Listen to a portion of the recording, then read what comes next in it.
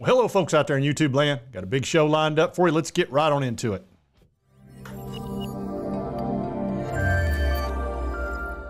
All right, let's pull up that screen. On NIO, why is NIO up today? It's at a nice little uptick. There's actually three reasons uh, why NIO is doing a little bit better. And I think long term, this should be uh, bullish for NIO. And what's helping NIO uh, today is the reports that Chinese government is incentivizing consumers to buy the EVs. And it said authorities in Beijing are encouraging banks to lower lending rates to drive sales of electric vehicles, which will, of course, will benefit the EV manufacturers such as NIO. And it also the news also comes as the Roni Rona restrictions ease in the country, enabling EV companies to ramp up their manufacturing. And we saw that in June when uh, NIO's numbers jumped real nicely. Says the Chinese ministry is pushing for more financial incentives to increase electric vehicle sales in the country, especially for the uh, NEVs, with uh, lower vehicle loan rates. It says the news stands to boost sales for NIO and other EV companies. According to the report, some Chinese banks have reduced the interest rates they charge on loans for EVs by 30 basis points over the past month. Some loan rates have been cut in half over the past two months from 6% to 3%. That obviously saves a lot of money over a five or six year period. They're also allowing consumers to finance up to 85% of the purchase price, which obviously lowers the down payment. And it said the EV uh, sector is holding up well amid a broad economic downturn in the country, which has been caused by the shutdowns. That EV sales remain robust with demand growing among consumers. Banks in China issued 1.8 billion of EV vehicle loans during the month of June, a 40% increase from May. They're also considering extending a tax exemption on electric vehicle purchases to further incentivize people to buy them. EV buyers in the country have been exempted from a 10% purchase tax since 2014. Beijing had planned to eliminate the incentive at the end of this year. An extension of the tax exemption will also benefit NIO and help lift its uh, domestic sales in China. Here they're talking about where NIO uh, reported 13,000 vehicles in June that they uh, delivered, which was up 60% from a year ago. And there they're talking about where the restrictions have been, they've been lowered a little bit. And my understanding of what's going on with that is that they're actually being a little bit more precise with their shutdowns. They're not just shutting down the whole area, they're actually going into specific neighborhoods and just shutting down areas where they have hot spots. So a little bit more intelligent um, shutdowns, even though look, it's the Roni Rona, the newest version. It's going to do what it's going to do. It ran through this country very quickly, and you know you can keep shutting down if you want. It's going to do what it's going to do. It's a problem, and it's going to be a problem probably forever. It just going to have to learn to live with it.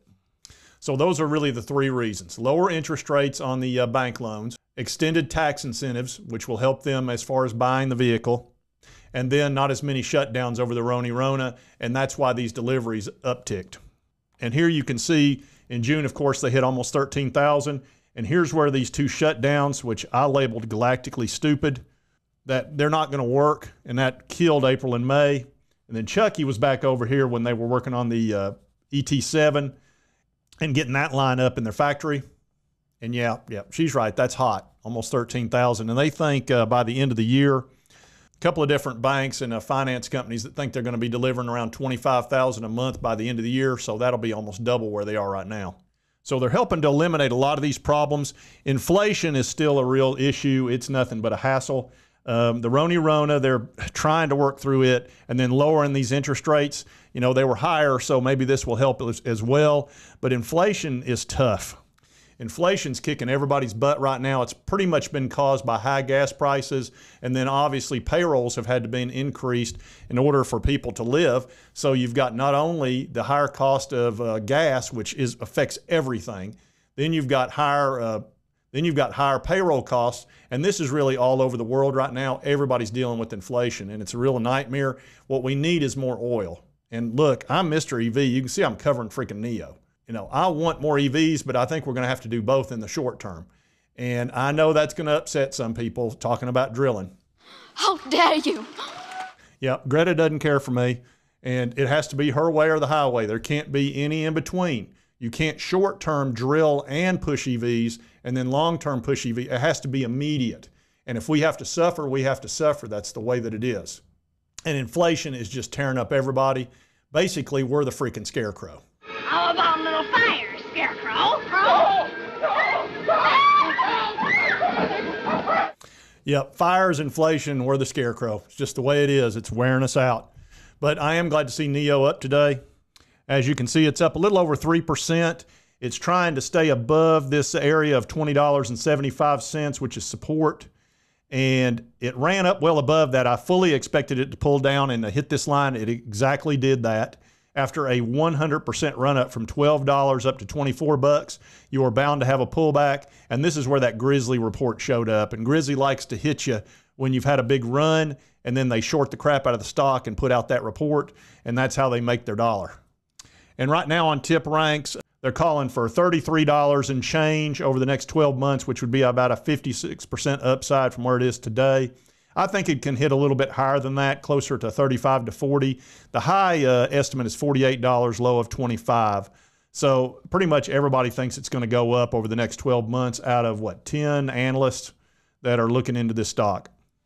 All right, folks, and that's NIO today, and that's why NIO's up. So I think those are some positive catalysts for the company. Now, I realize, you know, this company still got the delisting issues to be concerned about. Hopefully, that gets worked out over the next several months, but that's that's not to be ignored. You know, there's always special risks when you uh, talk about a Chinese stock, and that's it'll probably always be that way, just because the Chinese government can be real buttholish about things. That's just kind of how they roll. But if you like this content, be sure to hit that like button. Lets me know to continue to cover NIO. And if you haven't subscribed, hit that subscribe button. I'd certainly appreciate it. And we'll see you next time on Mr. Frugal Investor.